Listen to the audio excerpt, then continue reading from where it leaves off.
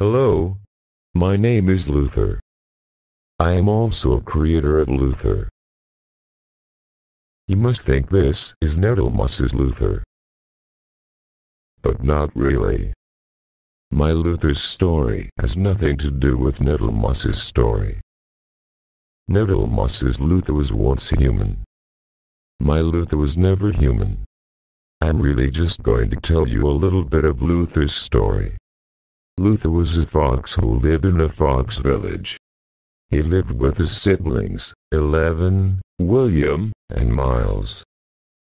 One day, a deadly enemy finally appeared. His name is Infinite.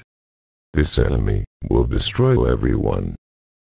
Luther had to dispatch his brothers to a far and safe place. After that, Luther had to fight the enemy. He used all his strength to defeat the enemy. He managed to defeat him, but ended up dying. I still have a lot to tell, but I won't say everything in this video.